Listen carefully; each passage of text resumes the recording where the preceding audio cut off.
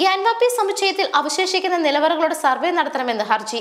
ഇതിന് archaeological survey of ഇന്ത്യയ്ക്ക് നിർദ്ദേശം നൽകണമെന്നാവശ്യപ്പെട്ട് ഹിന്ദു വിഭാഗത്തിൽപ്പെട്ട ഹർജിക്കാരൻ വാരണസിയിലെ വിചാരണ കോടതിയെ സമീപിച്ചു.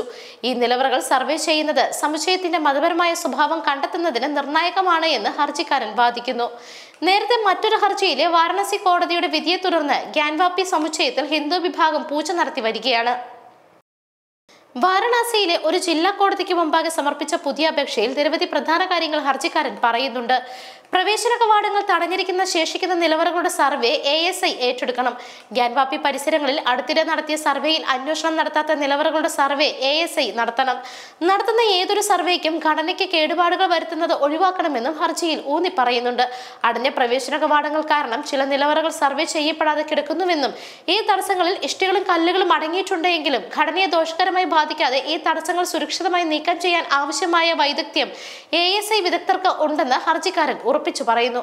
മാത്രമല്ല ഘടനയുടെ സംരക്ഷണം ഉറപ്പാക്കാൻ പ്രവേശന കവാടങ്ങളിൽ തടസ്സം നീക്കം ചെയ്യുന്നതുമായി ബന്ധപ്പെട്ട് എ എസ് ഐയിൽ നിന്ന് റിപ്പോർട്ട് നേടണമെന്നും ഹർജിയിൽ പറയുന്നുണ്ട്.